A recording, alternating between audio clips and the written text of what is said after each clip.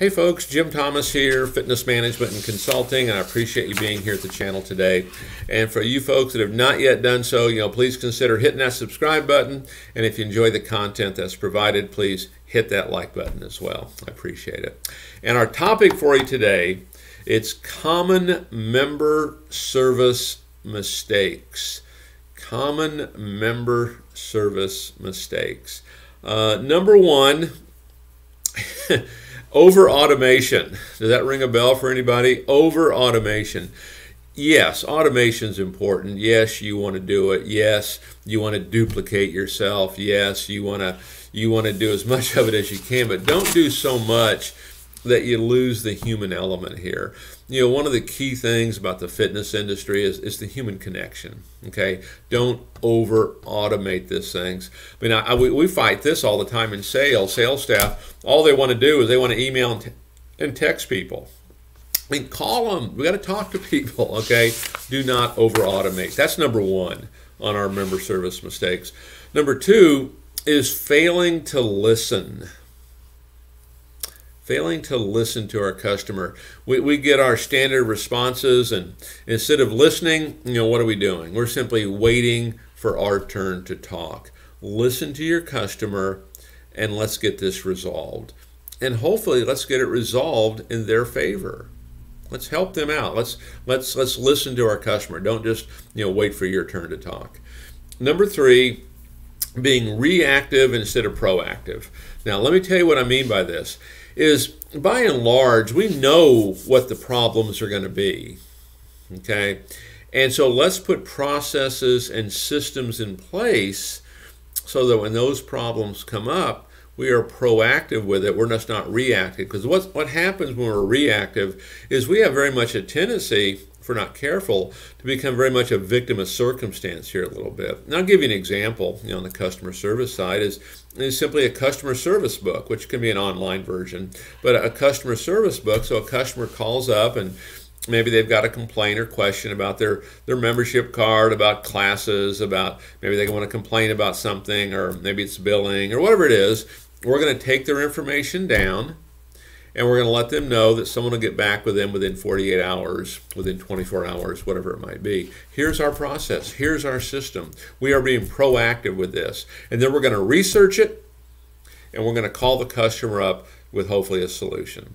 Okay? The reactive approach, customer calls up, we respond, incorrectly, correctly, I don't know, we don't have all the information, customer gets upset, we lose a customer. So make sure we, we're proactive in what we're trying to do. Number four, do not undervalue your customer service staff. And I know on this channel, you know, we spend a lot of time talking about staff training and we talk about, you know, sales training and all that. Same thing for our front desk. I mean, we want to be training. We want to have a, a, a front desk meeting every single week. Okay, training how to interact with customers, how to how to how to uh, how to greet customers, how to talk with them. And like this, for, I'll give you an example. You know, one of the simple things we can do: customer comes in and they have a complaint. Mary, I understand you know, we should be giving you better service than that. Doesn't mean we're rolling over, we're laying down, but Mary, hey, I understand. We should be giving you better service than that. Let's see if we can get this resolved. And then do your darndest to get it resolved. Okay? You know, using, you know, maybe your customer service logbook.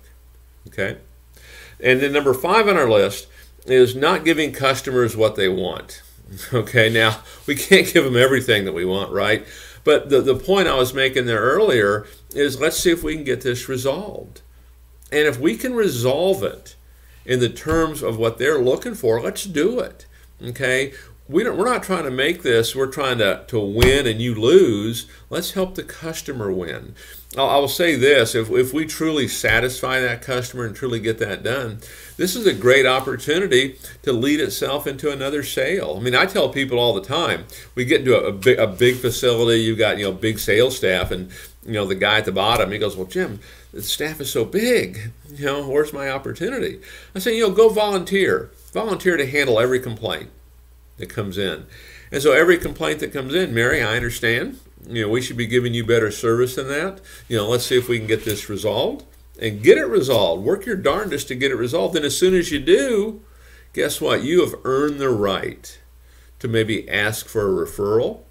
You've earned the right to maybe show an upgrade presentation, an add on presentation. Okay, you've earned that right.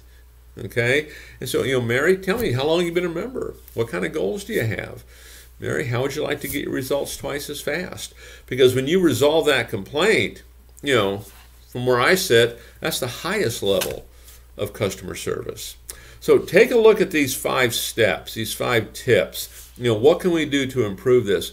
Many clubs, they fall short on a lot of this. Okay, we think we do a good job, but the numbers don't necessarily reflect that we do. You know, member usage, you know, our communication with our customers, a lot of things come out and say, maybe we're not doing quite as good as we could. So, folks, my name is Jim Thomas. My company is Fitness Management Consulting. If you found the information beneficial, please hit the like button. Look forward to chatting with you real soon. Hope you all have a great day.